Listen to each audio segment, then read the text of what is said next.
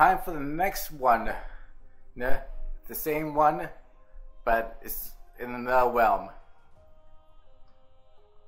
Hello, my Ravens, ZazBlack, and welcome to another video of a Team Ravens Alliance stories.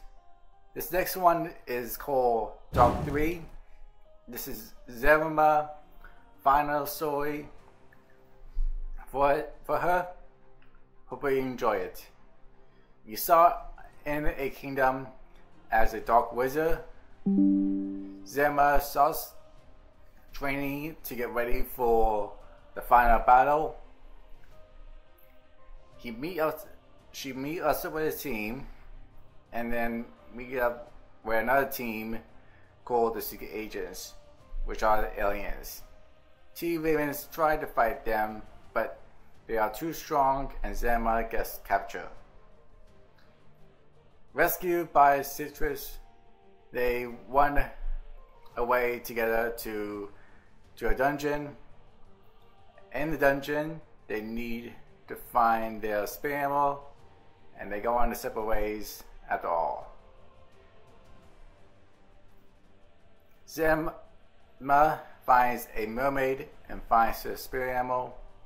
Strains until Zem uh, gets stronger and then take two to fight against Secret Agent's army. Team Ravens won the battle, and Zama went back home in the castle. ZazBlack promotes her to become the court wizard as a black left hand woman. The end.